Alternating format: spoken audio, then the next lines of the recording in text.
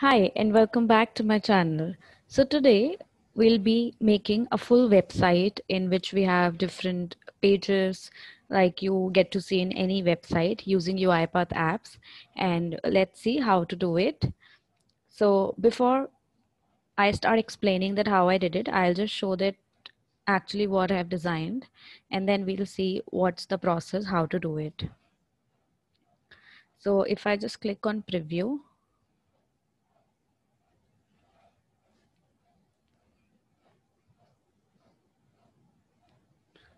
So this is the app that has been designed. So this is the home page where this, there's the snip of my YouTube channel.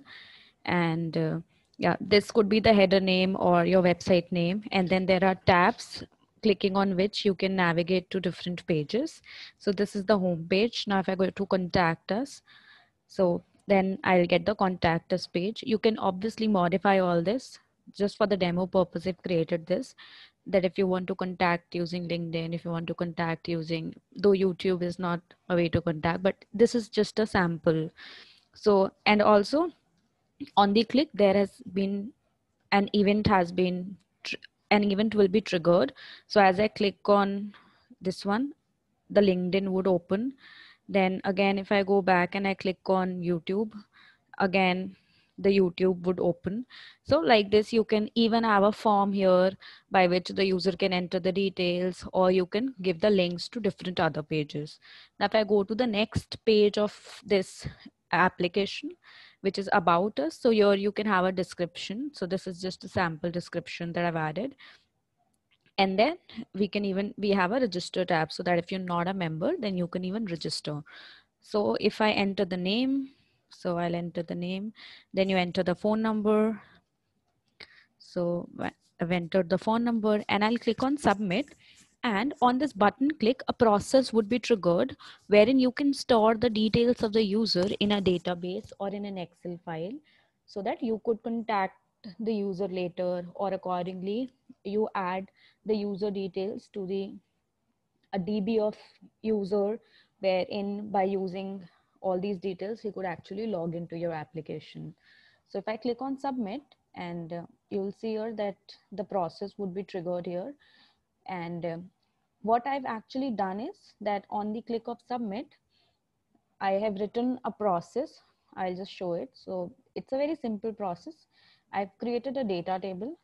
So build data table using, if you see the columns of the data table, so it's name and its phone number and uh, I'll get the details from the form only. So that is the name and phone number of the user. I'll get it from the form that the user would be filling on my application. Then I would add those details to the data table using add data row. So this is my data table name and here I'm just adding the name and phone number. Post that I'm checking that the file in which I actually want to save it is getting created for the first time or it already exists.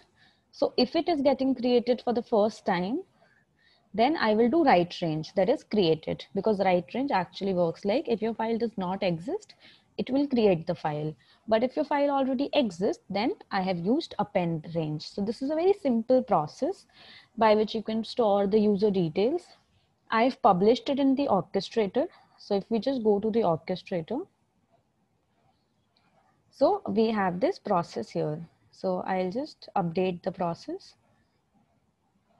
So you see this down arrow button, so me, which means that there's an update available for this process. So I've just updated the process. Okay. And I have connected, so I've created a robot, which is the attended robot and I connected that robot like the normally you connect your orchestrator and your studio via robot so that normal connection. And so that the app can use that connection to trigger a process. So if i just go here okay and if i'll click on submit then that process would be triggered here so this is the UiPath assistant and on the click of submit and also uh, let me just show you that here the file would be created. As of now, we are not able to see any file here, but as I'll click on submit, we will be able to see it. So I clicked on submit and I'll just open the UiPath assistant. So the first one is the process which would be triggered. So initially it was showing awaiting install. It was because we've just updated the process. So now you can see it's written waiting for execution to start and job started processing. On the taskbar also you can see that round thing moving. Okay, so now our process has already been stopped. And if we now go to that location, so we here see here a customer data Excel present here. And if we just open it, then we would get all the details that the user has entered. Okay, so it has entered it in the wrong like the name is being the name and the phone number has been switched. So we'll just see why did that happen. So let's go here. And we are entering in name and in phone only. And how do you see this? That all the how do you declare this particular thing is you just create arguments. Instead of creating variables like we used to do in a normal process we would create an argument. That means all these argument would come from the application so let's go back to the application. Let's close this. Let's come here. So this is the register page. And if I see in the name, okay, so I have bind the phone number in the name, which is wrong. So that's why we got it the other way. Now, if I just open this thing, I'll say in name, I'll bind the in name value here which means that this particular argument, which is actually our argument of the process. So even the name is the same, or you could say the name of the variable or name of the argument is also the same because it is getting that, that argument from here only. So whatever you declare, that would be available here. So I bind the value and in phone number, I'll have to bind the phone number value. Okay. So now we'll get the correct thing. So let me just delete this.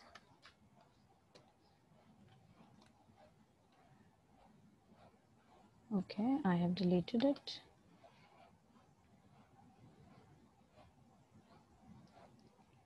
Okay, let's again click on preview. And this time we would get the right information stored in the right cell. So I'll enter the name and then I'll enter the and I'll click on submit. So for just demo purpose, I've taken name and phone number, but obviously you can take other information, all the required information. It could be an email, it could be gender, it could be address, it could be all such information, whichever is required for the process. So already our process has stopped. And now if we open the Excel, then we would see that all the information is in the correct field. And now you must be wondering that all this app and creating all these pages must have taken a lot of time or must have taken a lot of styling to be done. But that's not the case. I just used the template which is provided. You can even use that template.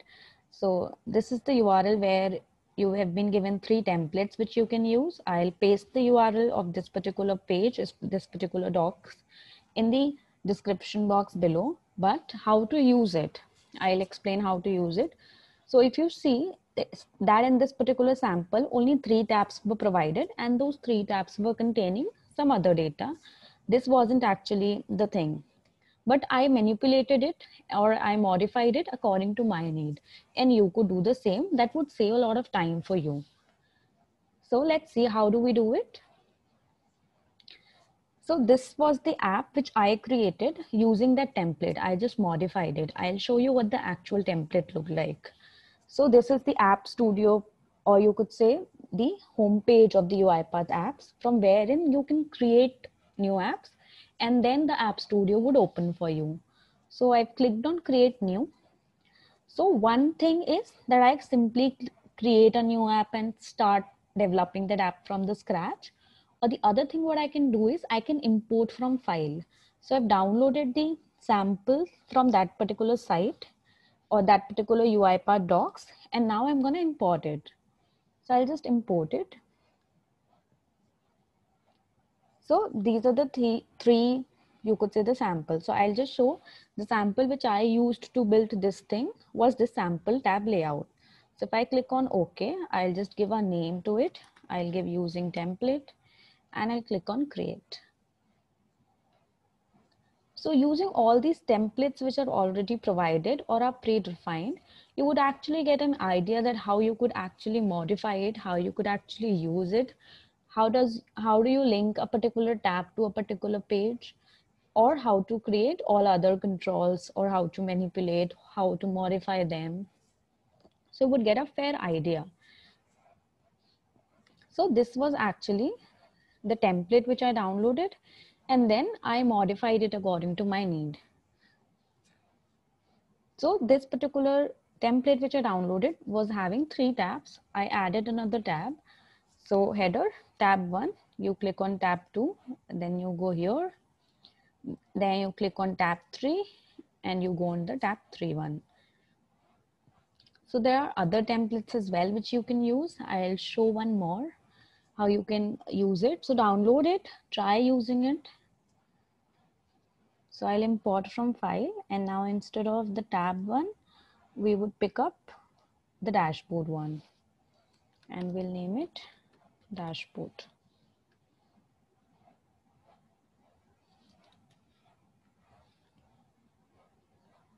And click on create. Also, if you want to trigger a process on some click or on some typing, then I'll show the process for that, how you do that. So this is a sample template which is available here. And obviously this one also you can use accordingly. So if we just go to preview to see how it is.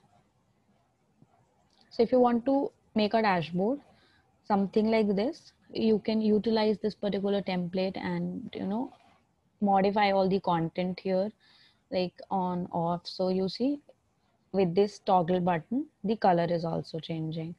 Similarly here. And then you can add in more information here. So all that can be done really easily if you have this template in its place you will just have to scroll down.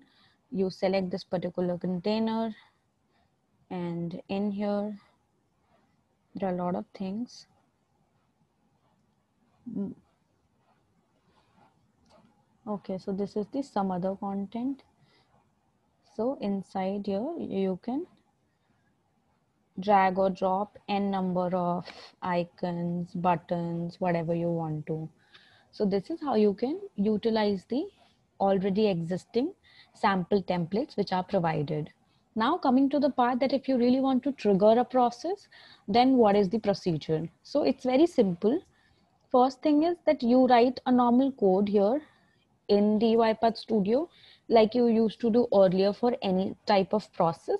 Instead of creating variable, if there is anything that you want it as an input from the application or UiPath apps, then you create that particular thing as in argument. And if you have to process it and give back to UiPath apps so that that particular thing could be displayed to user, then create it as an out argument. Now suppose if I wanted to create phone number, if I wanted that the user registers by entering its name and phone number, and I then my process then outputs the user a unique user ID. So then that could be an output that my application is going to showcase to the user after he has successfully registered. So this is the designing part of the studio. Post that, you will just have to do this thing that you connect it to your orchestrator using an attended or unattended robot. So then you have a process already attached. So you have a process now and you have to call that particular process from your application. So now suppose on this button click, I wanted to call some process. So what I'm going to do is, if I click here on dashboard, so I get three options of creating a page. So the page is the thing like we created in that app home, about us, register. So those are different pages. And processes that if I want to call a process. So now if I want to call a process, I'll click on process. So it would get the tenant name of my orchestrator. If it does not get, then you will just have to simply add in your orchestrator URL which must have your tenant name. So if I click here, so because I am already connected, I've already entered my orchestrator URL. So in the list, I am seeing my tenant name. So I'll just have to click on next. And here I'm getting all these things. So if I click on default, so that would show all the existing process that are currently on my orchestrator or on the processes menu or processes options of my orchestrator. I can select any of it. So this extracting process does not have any input, does not have any output. If I talk about apps process, so it is having these three as input, these two as output. If I talk about this, then similarly, and if I talk about this, so this is the one which we just which we just saw. Now you must be wondering that why out ID is not in the output, though I have created it as an output. It is because I made the change here, but I did not publish it. So the change has not been reflected back on orchestrator. So once I publish it, okay.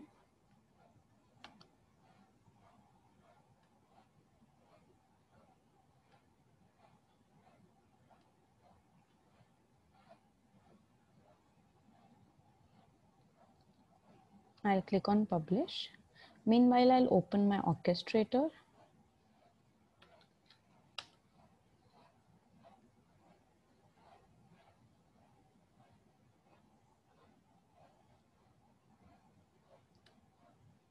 let us check that yeah so it has been published and we would get an updated version here on our orchestrator and once we update our process so that update would be reflected on our UiPath App Studio also. So that is how you can connect easily. So now you can see that there is an update available. And as soon as I'll update this particular process, I'll say update it use the latest version. Now if I go back to my UiPath App Studio and I go on process, I'll have to create a process. I'll select my tenant, I'll click on next.